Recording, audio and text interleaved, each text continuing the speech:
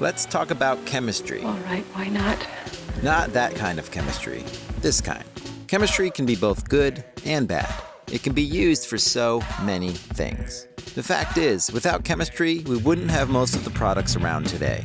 Enter textile factories. The textile and apparel industry can be dirty, like medieval times dirty. We could use a little more than a dusting off. Some factories are like bad science experiments, mixing concoctions of toxic chemicals without regard for where they'll end up.